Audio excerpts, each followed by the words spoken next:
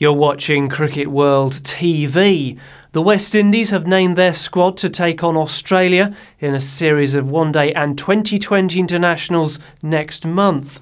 After losing the ODIs 3 2 in Bangladesh, it does not come as a huge surprise that the selectors have made some changes, recalling Ramnaresh Sarwan as Marlon Samuels misses out.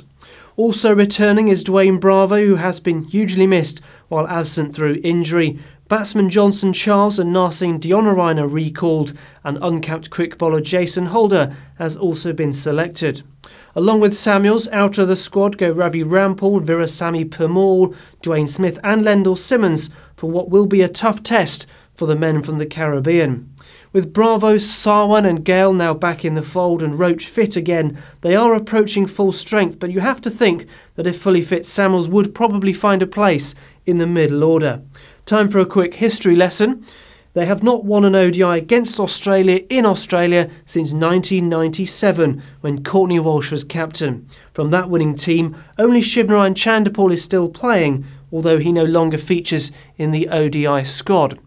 Time then, perhaps, for this West Indies team to follow up on their success in last year's ICC World Twenty20 and make some more history.